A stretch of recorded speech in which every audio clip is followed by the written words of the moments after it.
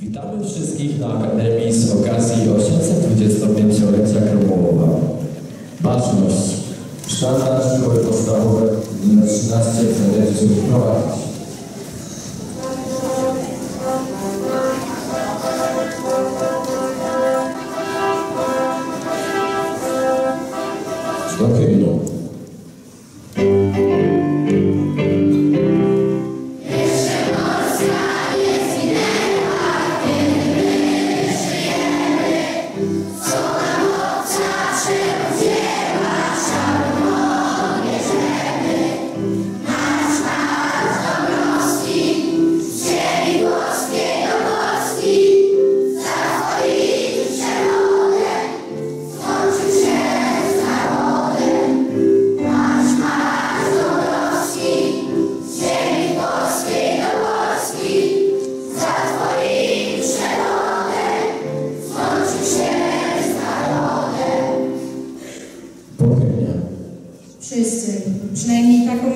Nadzieję, czujemy się Polakami.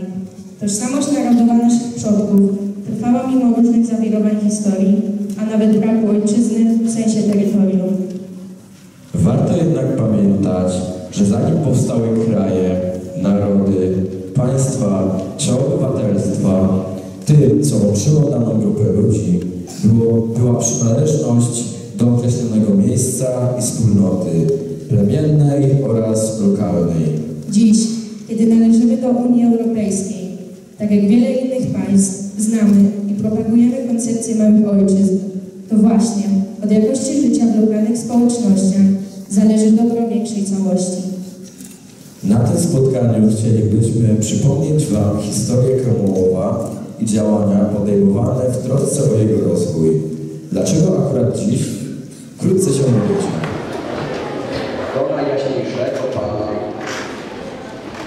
Kazimierza Sprawiedliwego, księcia sandomierskiego, krakowskiego, kujawskiego i mazowieckiego.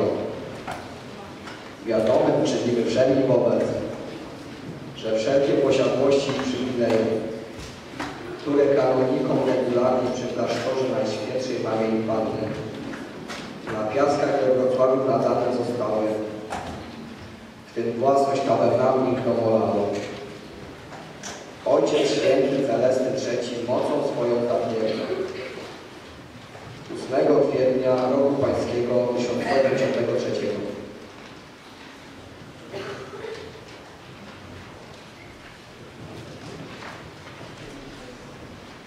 Może jeszcze raz wyjaśnię.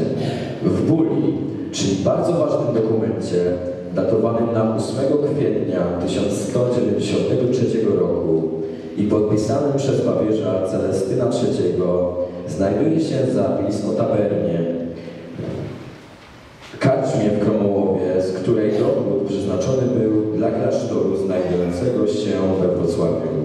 Warto wspomnieć, że taberna, o której mowa, była miejscem, gdzie nie tylko spożywano trunki i organizowano zabawy.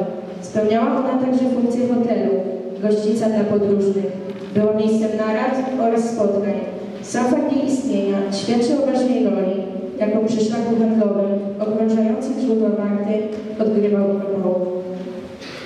Jak dalej toczyły się losy Kromołowa, przekonacie się za chwilę.